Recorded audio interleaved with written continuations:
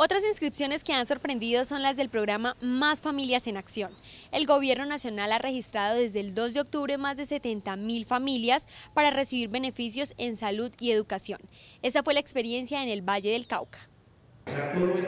Acompañamos al DPS en un corto recorrido por algunos municipios del norte del valle, Cartago, Zarzal, Roldanillo y La Victoria, para ver cómo avanzan las inscripciones del programa Más Familias en Acción. En todo el país nuestra meta es inscribir entre 20.000 y 30.000 familias diariamente para alcanzar la meta de inscribir 2.300.000 familias a 31 de diciembre y 2.600.000 familias al finalizar enero.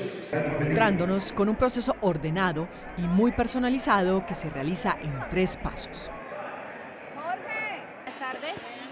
Me permite la cédula y la ficha. Verificamos si la persona está en el programa. Doña Yolanda Villa, ¿me permite los documentos? ¿Vas a ingresar a quién? ¿Es tu hija? ¿Qué edad tiene la niña?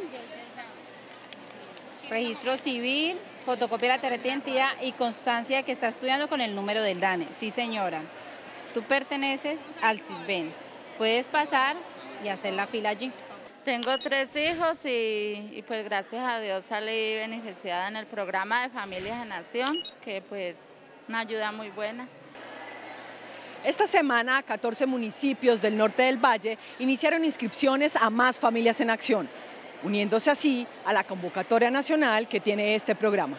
Finalmente, las mamás reciben una charla y aclaran sus dudas sobre esta tercera fase que tiene como meta vincular a 2.600.000 familias. Salió todo muy bien, acá pues los muchachos los atienden a uno excelente, tienen paciencia con uno y pues eso es lo importante.